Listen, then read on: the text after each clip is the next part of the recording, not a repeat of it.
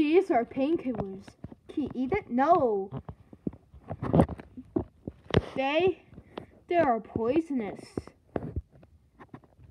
They are pills, so you can kill the pain.